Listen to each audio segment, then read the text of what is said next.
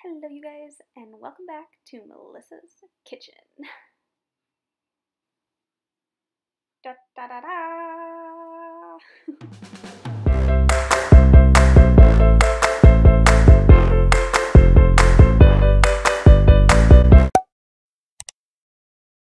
Hey guys, so this video is going to be a lot of voiceover because all of my audio got ruined.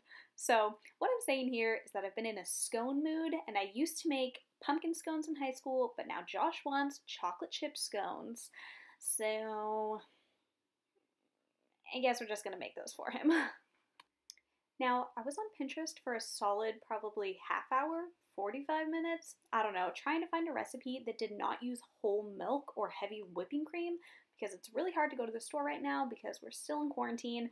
So I finally, after digging, found a recipe that used normal milk.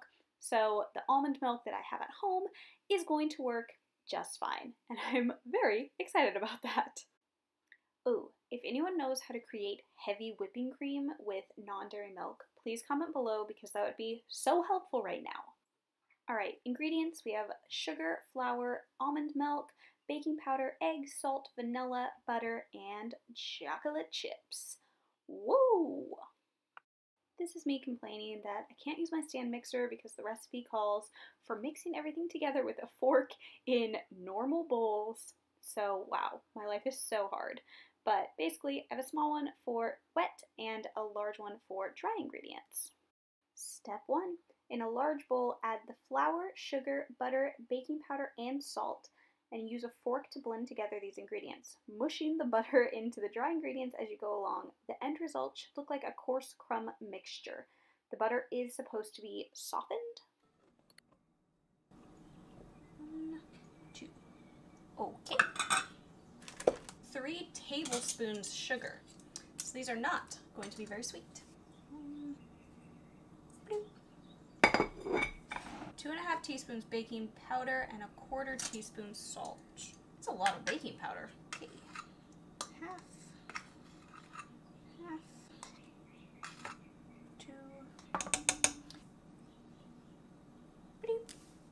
Does anyone else love the quarter teaspoon? I think it's so cute. Okay, and then butter. Three tablespoons softened.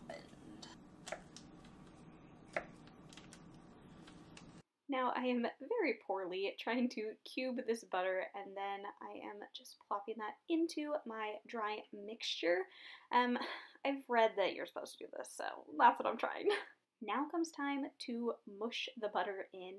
It's supposed to be a crumbly type mixture when you're done. This I was so unsure of.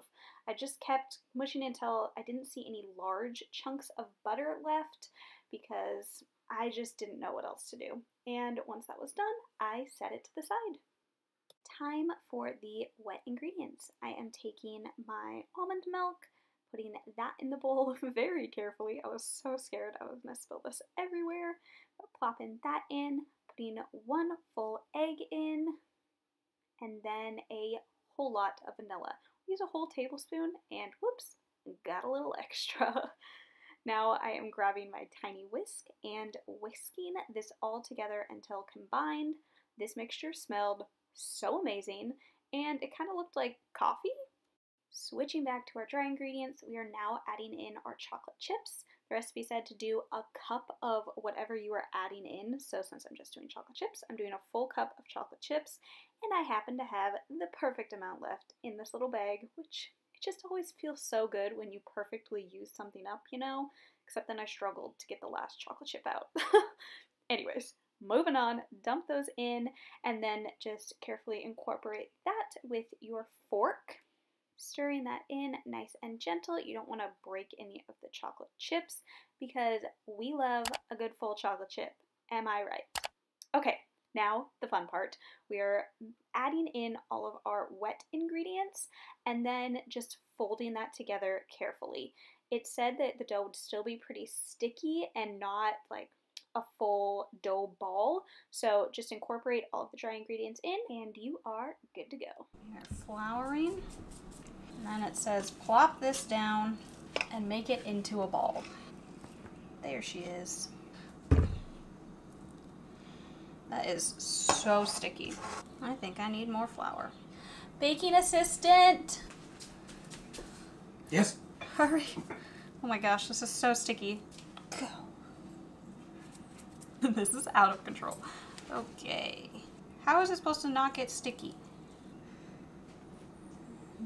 Okay. I just don't want to make it too floury, you know? Then it says to make it into, oh my goodness.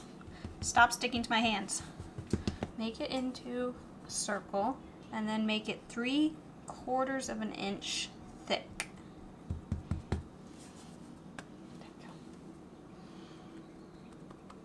Okay, do we think that's three quarters of an inch? Yeah. Yeah? All right. Then we are supposed to cut it into eight pieces and put it onto a baking sheet. Ruh-roh.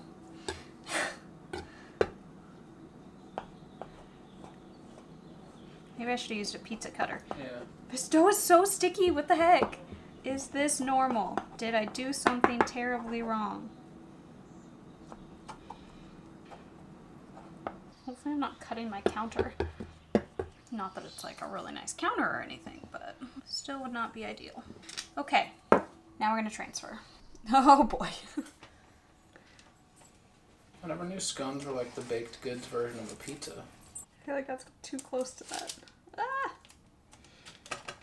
That is, looks like a tornado. okay. She got them all on there. Looks like a Dr. Seuss story. So it says preheat your oven to 400 degrees and then they bake for 10 to 12 minutes. Good luck. oh wait. I forgot. Spread something on top and then put a little sugar if you want. Do we want? She's basting them with almond milk. It said if you use milk, it gives it like a nice golden brown on the top. Then you just sprinkle sugar. Hopefully I'm not ruining them. Sprinkle, sprinkle, sprinkle. Take two. Are they done? They got really puffy. Okay, they're not as doughy as I thought. She's coming out clean. They just don't look cooked, right? Yeah, they kind of have a. They're a very light color. But yeah, there's no no dough. A cooling rack right away. I could definitely have made these smaller. Let's give it 10 minutes. And then we'll try it. Bibbity bobbity boo. Woo. I'm gonna try this. Let's see. Hey, it's cooked. Yeah. That's good. Cheers. I'd say it's good. I could have put more sugar on top. I think it's pretty good though. Mhm. The actual recipe, like, if it didn't have chocolate chips in it, it'd be very plain. Mhm. Like, very bland. Yeah, but it's got a nice fluff to it. Mm-hmm. Yeah, they're really fluffy. Boop, boop. I like That's them, good. actually. Yeah. Nice work. Yay! All right, I'll leave this recipe that I used in the description box if you guys want to try it. I think they're good. Yeah. I think I was expecting like a cookie flavor, and then I remembered it's not a cookie, like it's supposed to be not as sweet. I think these are delicious. It's a really good amount of chocolate chips in them. So if you mm-hmm. guys want to try them out, let me know if you do, and if you like them. Hope you guys enjoyed this video. Give it a thumbs up if you did. You guys are great, and we'll see you next time. Bye. Bye. Oh. Just, I'm sorry.